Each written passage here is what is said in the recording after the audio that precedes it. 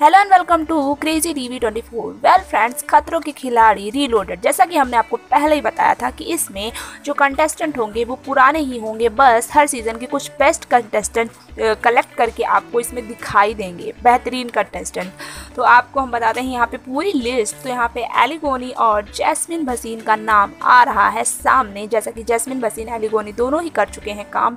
खतरों खिलाड़ी में स्टंट नज़र आए. एक बार फिर आपको स्टंट करते हुए नज़र आएँगे. वहीं पे निया शर्मा, जिन्होंने बहुत ही परफॉर्मेंस बेहतर दी थी अपने सीज़न में, वो एक बार फिर नज़र आ सकती हैं खतरों खिलाड़ी रिलोडेड में। वहीं हर्ष लिम्बाचिया का भी नाम सामने आ रहा है।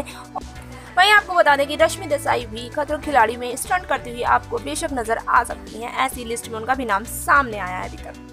और ऋत्विक धनजानी, जो भी आपको खतरों खिलाड़ी में दिखाई दे चुके थे, पहले भी वहीं करण पटेल का नाम सामने आ रहा है, जो कि सीज़न के रह चुके हैं। बेहतरीन कंटेस्टेंट में से वो भी एक थे, करिश्मा तन्ना। जी हाँ करिश्मा तन्ना का भी नाम सामने आ रहा है कि वो खतरों के खिलाड़ी रीलोडेड में नज़र आ सकती हैं एक बार फिर से और अपने स्टंट से लोगों को दिल जीत लेंगी।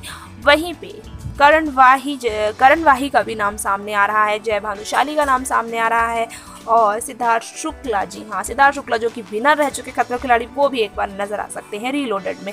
वहीं हीना खान के नाम पर अभी भी थोड़ा सा डाउट है तो अभी हम हीना खान के नाम को कन्फर्म नहीं करेंगे।